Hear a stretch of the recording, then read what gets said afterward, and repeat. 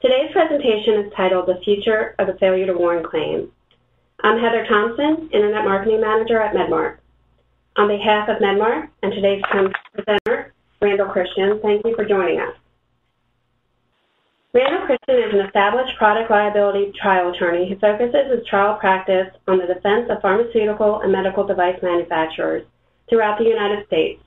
He is and has been trial counsel for pharmaceutical and medical device cases in seven different states. Most recently, Randy served as first chair in a four-month bellwether trial in Southern California for a major medical device company. He also tried to a defense verdict the first bellwether trial in the country involving hormone replacement therapy as part of the federal MDL proceedings in Little Rock, Arkansas.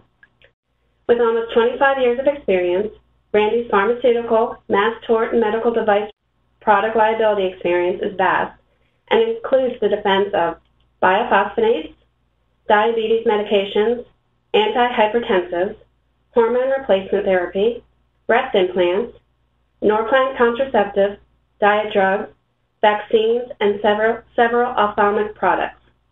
His knowledge and experience includes Daubert motions, preparing company employees and experts for depositions, deposing experts, and recruiting and developing testifying experts in national pharmaceutical litigation. In addition, Randy has recent and substantial experience in conducting litigation risk assessments for companies preparing to market new products and marketed products where litigation is anticipated. Finally, Randy also defends pharmaceutical companies in government enforcement actions alleging Medicaid fraud and has significant experience defending companies sued under the Texas Medicaid Fraud Prevention Act. Randy has been recognized by the Legal 500 in product liability and mass tort defense medical device, and pharmaceutical category for his outstanding work in these areas. Additionally, Randy has recognized as a Life Science Star by LMG Life Sciences in 2012 to 2015. A competitive athlete outside of the courtroom, Randy is the finisher of the 2007 Ironman Triathlon, qualified for the 2009 Half Max Triathlon National Championship, and recently finished in the top 8% of the Chicago Marathon which provided him with qualifying time for the Boston Marathon. Randy was nominated as Austin's fittest lawyer in 2012. With that, I'm pleased to turn things over to Randy, who will begin today's presentation. Thank you very much, Heather. Uh, this is Randy Christian, and thanks for joining us here for the future of the failure to warn claim.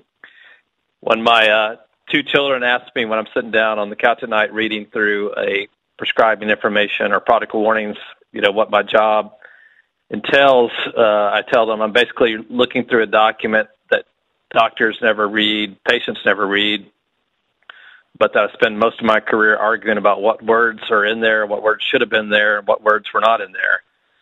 Uh, but seriously, uh, you know, as in failure to warn claims, we spend a lot of time evaluating our clients' drug warnings and device warnings evaluating what our clients knew or should have known about the drug risk, and asking prescribing physicians and implanting physicians whether a different warning would have changed their prescribing decisions. I'm always interested in kind of staying on top of what's happening in this field of warnings, and there's been quite a few significant developments over the last couple of years, and that's what I'm going to try to share with you today and talk a little bit about how that might impact the defense of the learned intermediary doctrine. Uh, just to kind of give you an overview, uh, when I started to look at this topic, I wanted to kind of get a sense of where medicine in itself is headed in the future. And a couple books that I recommend that I read to learn more about the future of medicine. Uh, on the first one is is a fictional book called The Cell by Robin Cook, where uh, basically a large insurance company turns your iPhone into uh, an application called iDoc. And it's a smartphone that functions as your personalized primary care physician uh, by uh, using a convergence of the internet, mobile phone technology, quantum cloud computing, social networking, digital medical genomics, wireless biosensors, and advanced imaging. And it's pretty interesting uh, to see how this worked and that people have their own personal doctor that was available to them 24 7 that could diagnose them with several different medical conditions and kind of cutting out the doctor altogether.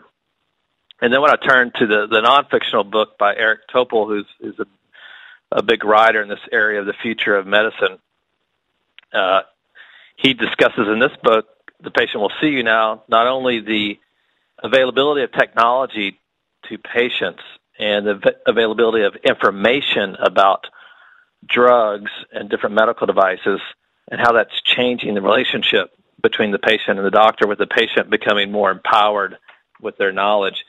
And what was interesting in, in uh, Topol's book was that he actually references this book by the cell by Robin Cook and says that all the technology that he discusses in that book is actually available today. So I thought that was kind of interesting. And as we mentioned, there's biosensors now that can connect to your smartphone. They can measure blood pressure, cardiac output, body temperature, pulse, respiration, just about everything you would need uh, for a complete checkup. So we're going to really continue to see a big change, I think, in the medical field as a whole. And I think the idea of going to a doctor's office is going to start to feel a little bit more foreign. Uh, one big insurance company, uh, Oscar Insurance, actually is implementing some of this technology by allowing you to get a diagnosis uh, from a doctor over your your cell phone by for little minor things uh, like a skin rash or something like that. You can actually take a picture and get it uh, evaluated by a doctor. So we're already starting to see some infiltration of this technology. So kind of coming back to what I'm really focusing on, and that is going to be the, the FDA's recent initiatives in focusing on communication of drug risk directly to patients. Um, and then secondly, uh, some innovative methods that have that have come up recently to convey drug risk information. And then finally, we're going to end on what some of this might have a potential impact on the learned intermediary doctrine. A quick history of drug warnings. You know, uh, not a lot has changed. Um, sorry, you can't see some of these. Uh, we're supposed to come up individually, but uh, for instance, what we used to see back in the early 1900s, this little blue thing was uh, a syrup that you could give to your children. It said it's very soothing for children. Turns out that uh, the reason why it was so soothing is because it had morphine in it. It led to, to many deaths around the country. Uh, you see a copy here of the PDR. The very first physician's desk reference came out in 1947. Uh, it, it listed out uh, in a text-based method uh, the indications and warnings for different drugs, and that has not really changed over time up until now. We still convey drug risk primarily through a text-based method. Then in the 1970s, we saw the first set of patient package inserts that were information with warnings that were written and distributed for users of oral contraceptives and estrogen containing products that went directly to women that would be using those drugs. And then in uh, 1997, the FDA set out its draft guidance to begin to allow direct to consumer advertising of drugs, which allowed for widespread advertising of prescription drugs. And then with medication guides, those first came out in early 2000 after the final rule came out in late 1999, uh, which is, you know, a document that is required to be provided directly to the patient when they are dispensed with the medication. And then, of course, people recognize the little clip-ons to the bags when you go pick up your medication from the pharmacy. These are consumer medication information brochures or monographs that have been out since the 1990s. And then what I'm going to focus on now is uh, in 2007 with the uh, passing of the Food and Drug Administration Act, the FDAAA, it established the FDA's authority to require REMS, or risk evaluation mitigation strategies, for prescription drugs when the FDA determines that a strategy is necessary to ensure that the benefits of the drug outweigh its risk. Uh, so that was a new tool that the FDA had in 2007 and we're really seeing an explosion in the area of REMS. I, for instance, from the FDA, I get updates when they add a new REMS policy for a drug or make a change to one, and those come in rapidly filling up my inbox as, as we see more and more REMS being associated with approved prescription drug products.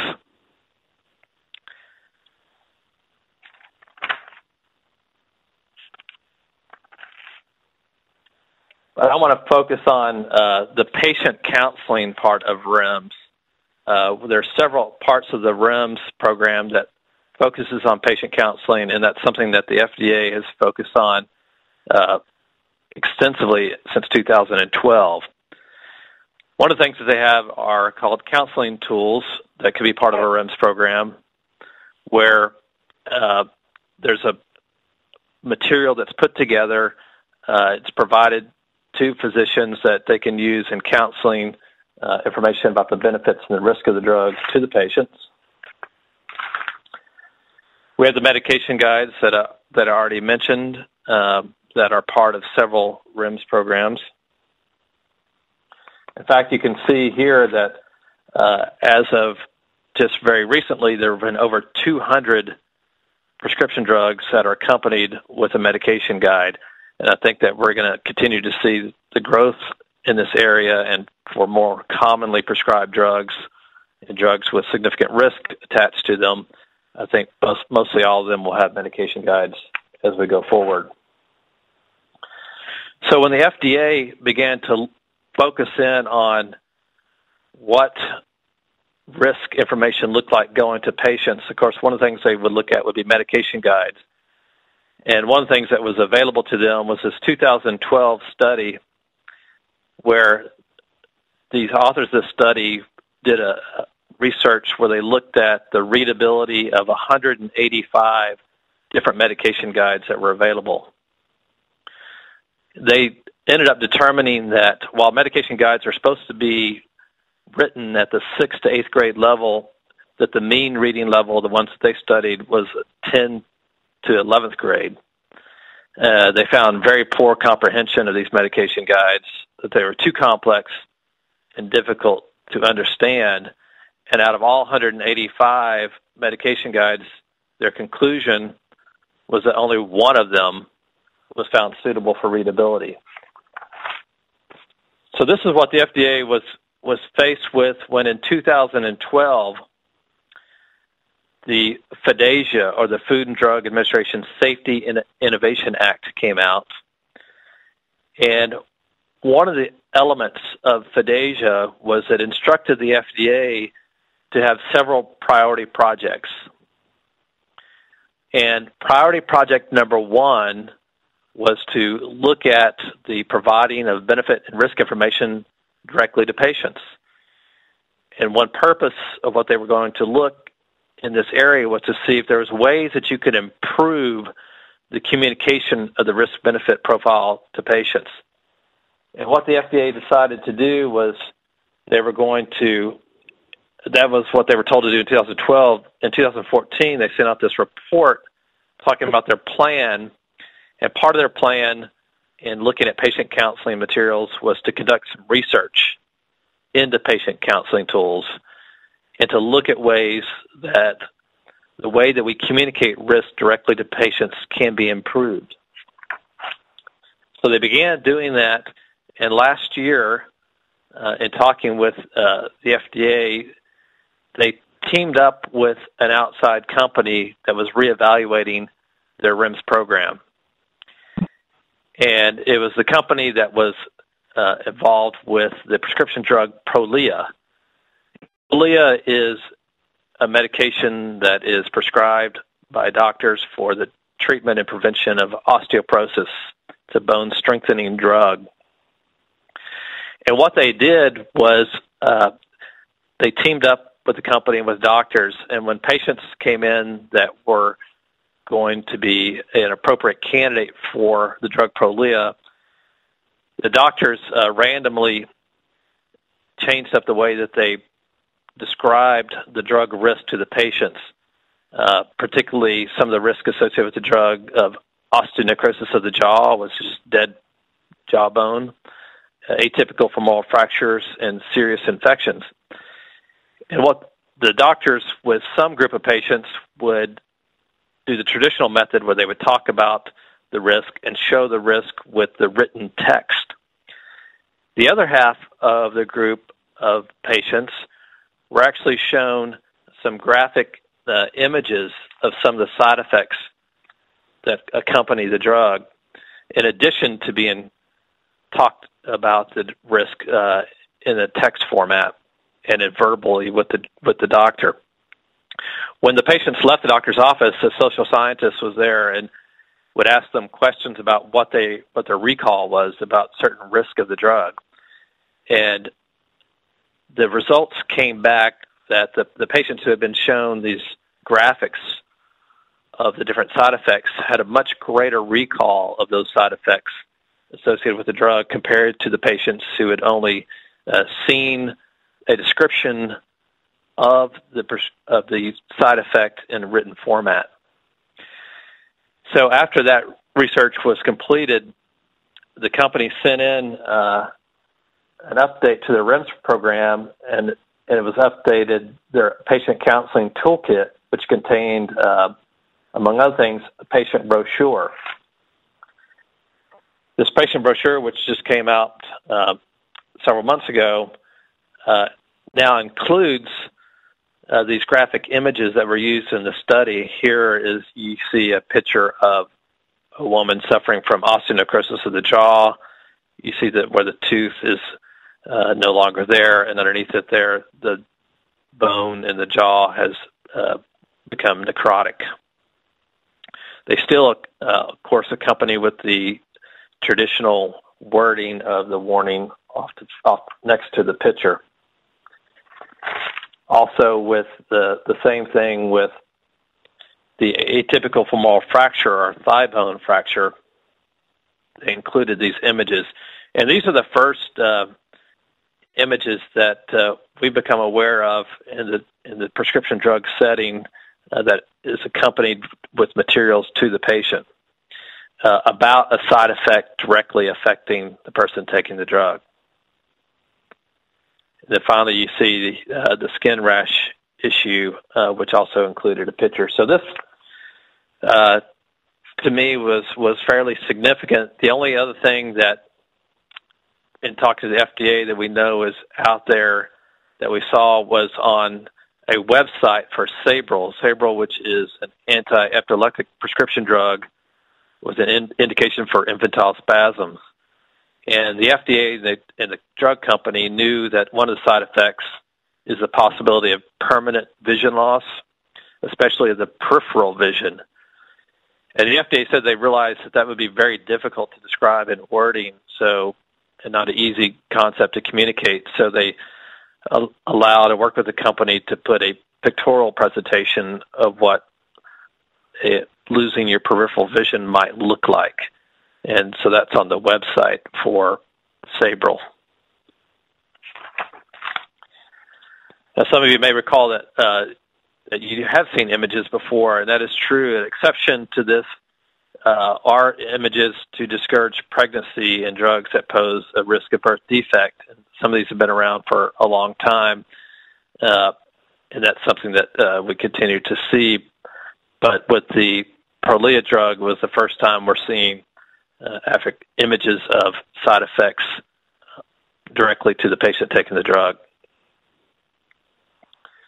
I'm going to come back to that one. On the medical device side, uh, something that I saw that recently got come into effect is a final rule in September of this year, which is going to allow uh, for graphics and symbols to be used on medical device labels uh, stand alone without any accompanying text.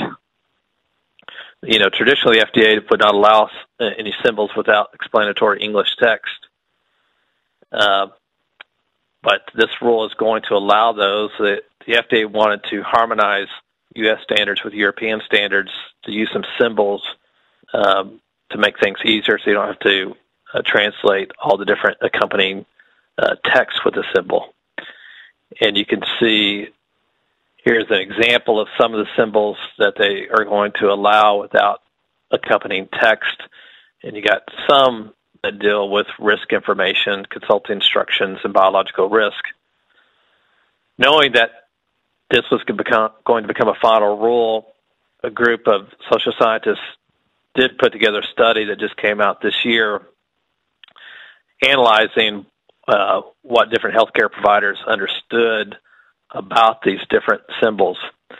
And you can see that uh, only uh, six of the s- symbols were successfully comprehended by the healthcare provider. So uh, there's going to continue to be some work that needs to be done in that area.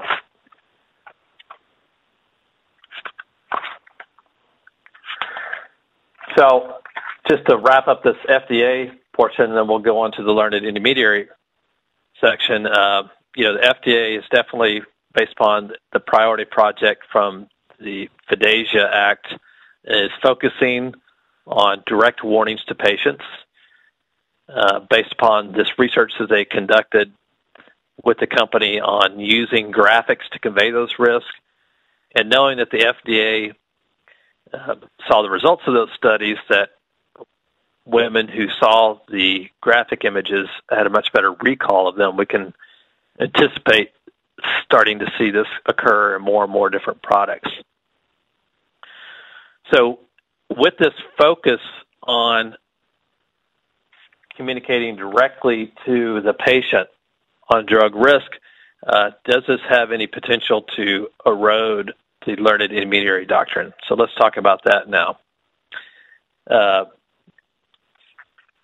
Marcus Welby was kind of our original learned intermediary when I was a young kid. I think a lot of most of the young associates in my firm don't even, don't even know who that is anymore.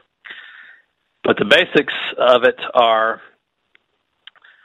significantly for us lawyers defending uh, pharmaceutical manufacturers and medical device companies are that we only have a duty to warn the physician and not a duty to warn the patient. Uh, so if we adequately warn the learned intermediary, we have not breached our duty. And if the learned intermediary is aware or has independent knowledge of that risk, that breaks the causal chain. It's a well established doctrine in most jurisdictions across the country. It got its roots back in the uh, all the way back into the 1940s. The phrase began appearing in the 1960s it was really developed through the 70s and the 80s, which made sense during a time period when most people didn't have other options to learn about different drugs or medical conditions other than through their treating physician. The the physician was basically the sole source of information about prescription products and uh, medical devices.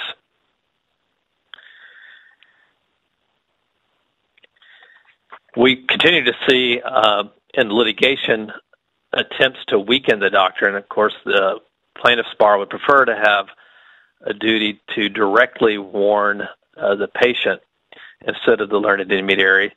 So there's consistent attacks, uh, including attacks on over promotion of the drug, meaning such as marketing the drug for off label usages. There's arguments that the learned intermediary doctrine should not apply in those situations.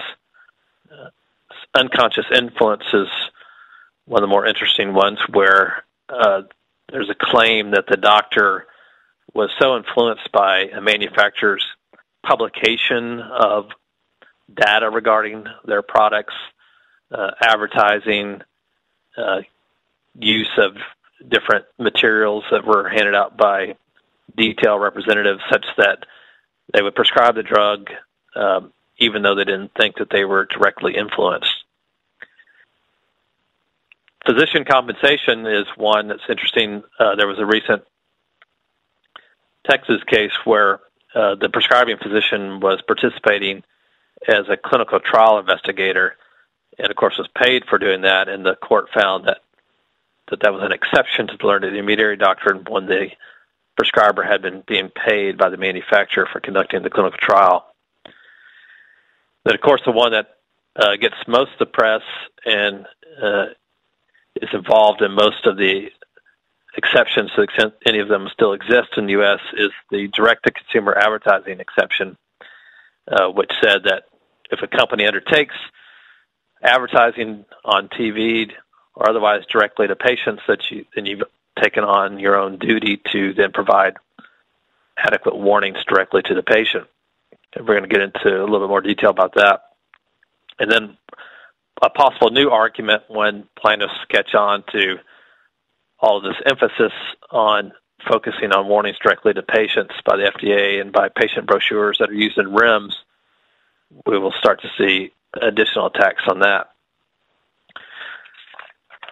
I wanted to hit a couple of the, the main exceptions to the learned intermediary doctrine uh, that have been the direct to consumer advertising, but I don't want to focus on the actual direct to consumer advertising, but looking at these main cases, I went back and looked at some of the language in there to see if it would support uh, other theories for getting rid of the learned intermediary doctrine other than the fact that the company undertakes direct to consumer advertising.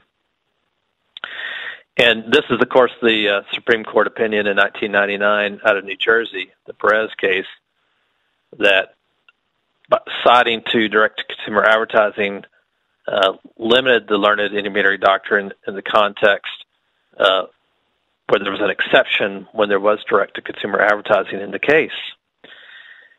Uh, but if you look here, uh, one of the things that they talked about in that case, in addition to direct-to-consumer advertising, was the fact that with managed care, the doctors have such less time to spend with patients.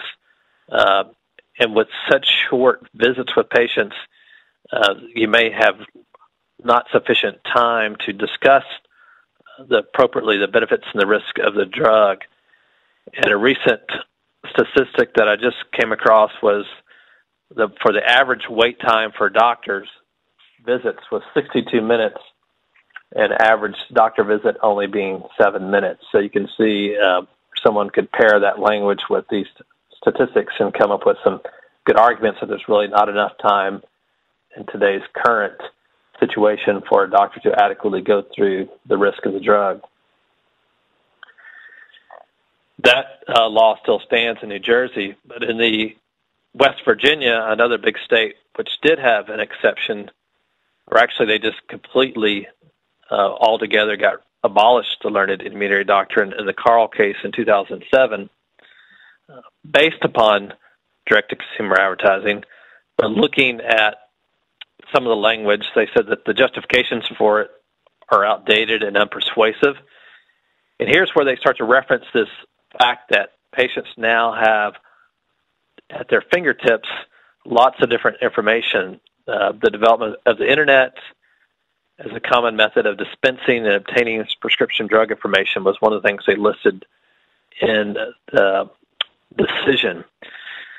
Uh, a recent update, if you haven't heard yet, uh, the West Virginia legislature passed a law which went into effect just a couple of months ago, where they fully adopted the learned, learned immunity doctrine as a defense in all cases based upon claims of inadequate warnings for prescription drugs or medical devices. So that's that's a good news for the learned intermediary doctrine is that it now uh, exists in West Virginia, and over that was overturned this Karl case.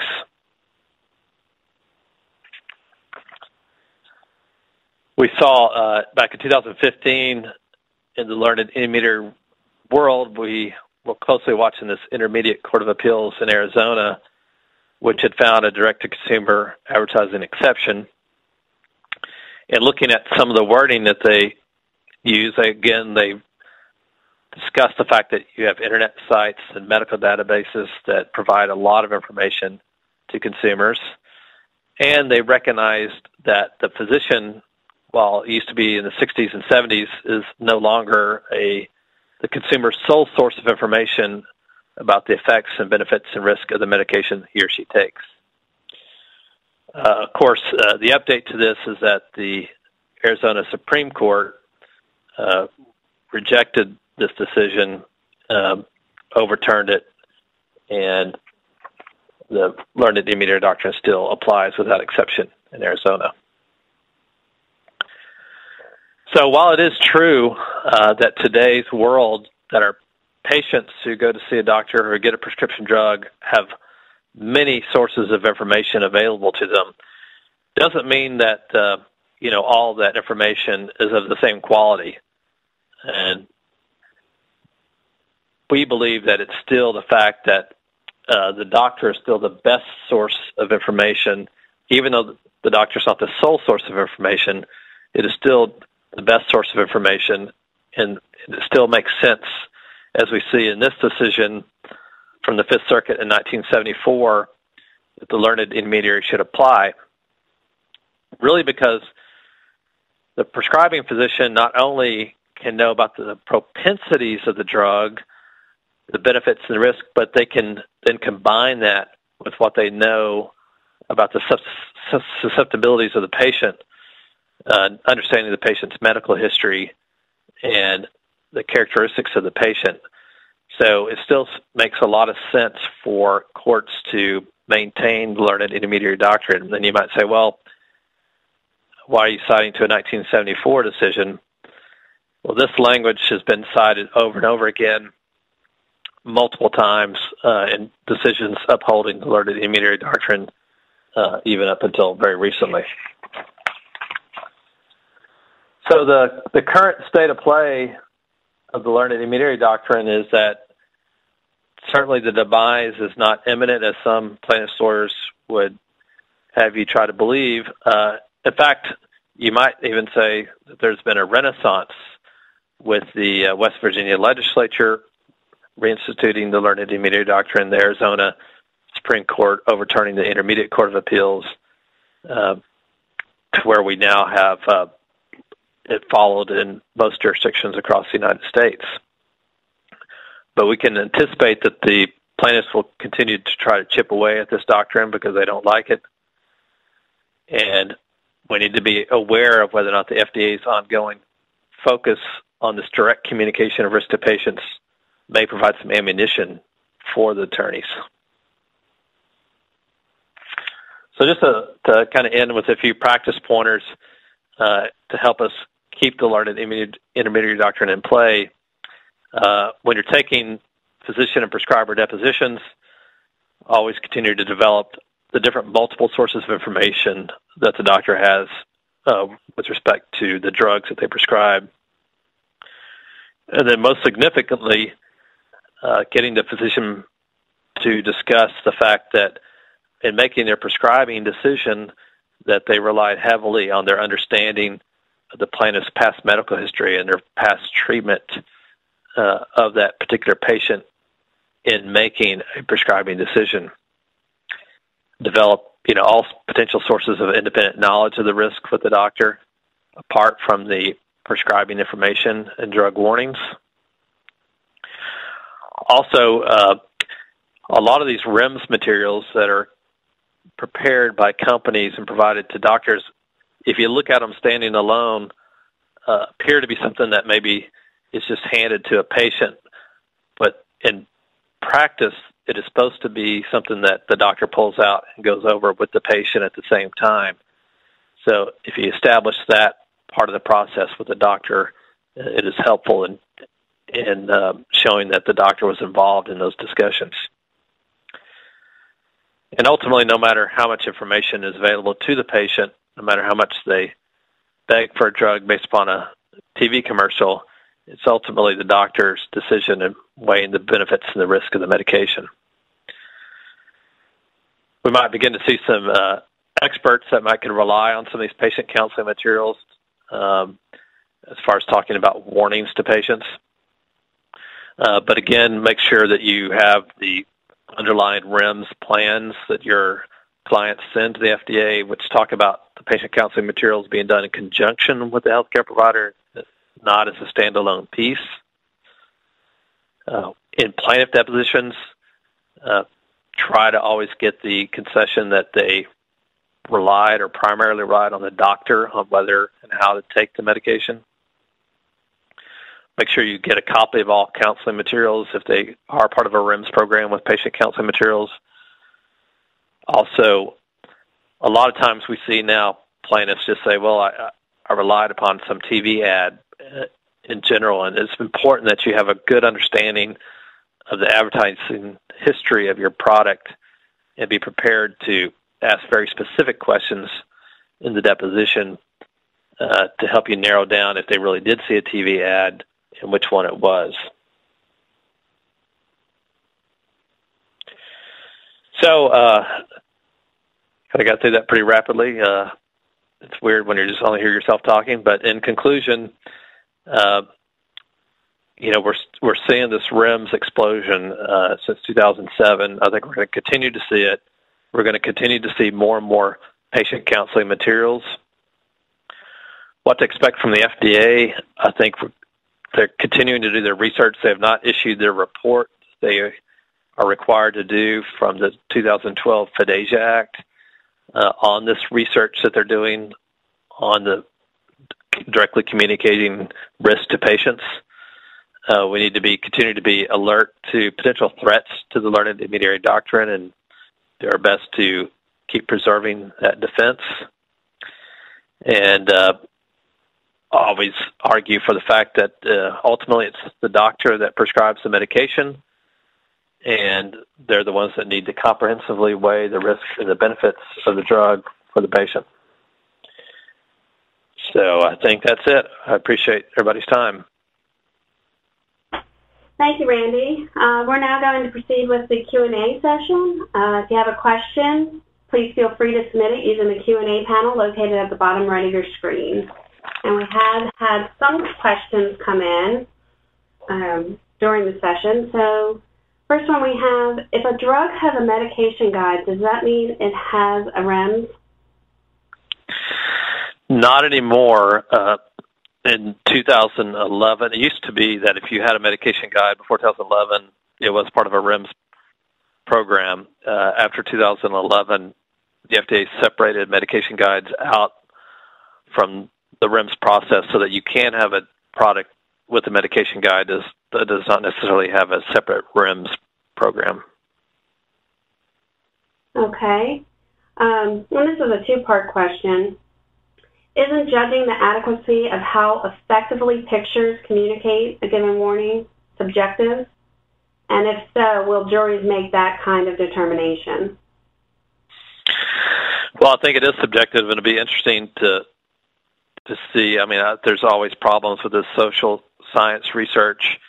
Uh, I don't know how many patients that the research included, uh, but I understand there was fairly overwhelming difference in recall on the risk between uh, the patients who actually saw the graphics and the ones that did not.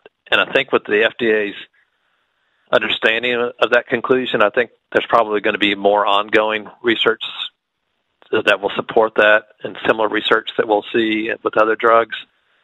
And I, I really start, I believe that we'll start to see more and more infiltration of, of graphics for warnings, and we may you know, end up seeing them in medication guides eventually.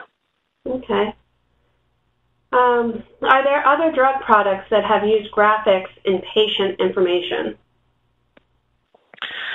The only ones that, uh, in talking with the FDA, is the Prolia pro- product uh, with their patient counseling brochure, and then with the Sabril uh, online uh, picture of the loss of periphery vision. And uh, if anybody ever comes across any other ones, if you send me an email, I'm trying to keep up with this. Um, I know at a big presentation of of hundreds of lawyers where I talked a little bit about this a couple months ago. Uh, no one has, uh, no one else has seen anything else as of yet, but I think we're going to start to see it. Okay. And then this is the last one here. As a maker of a prescription product, is our knowledge that doctors aren't doing a good job of communicating warnings detrimental to us? And does this impose some additional responsibility to warn patients directly? I missed the very first part of it. I'm sorry. Oh, I'm sorry. I'll, I'll, be a little louder. As a, as a maker of a prescription product, is our knowledge that doctors aren't doing a good job of communicating warnings detrimental to us? And does it impose some additional responsibilities to warn patients directly? I don't think so. I would argue that you know our duty still just runs to the doctor, and if the doctor's not doing a good job of informed consent with the patient, and that's you know a different cause of action of the patient may have against the doctor. Um, there are some there are become some issues about you know with manufacturers if they have the knowledge that doctors are unable to fulfill their role uh, as a learned intermediary. And one thing that comes to mind, you know, is the mass immunization exception learned intermediary doctrine, where people would line up to get a vaccine. And in that situation, uh, judges said, well, we, we know companies know that they can't rely upon the learned intermediary in that situation uh, to be able to give proper risk of the drug. And so there you had to warn directly to the patients in the mass immunization setting. Mm-hmm. And so you can see people uh, make an analogy to that where if, if we get to a point where we know all doctor visits are, you know, five minutes long, I could see arguments where people will say the manufacturers understand that the doctor cannot fulfill that role, and so the manufacturer should have an obligation to warn the patient directly. Okay. And, I, we did have one additional question come in, so since we have some time, how do these changes, trends affect generic pharmaceutical manufacturers and their duty to warn?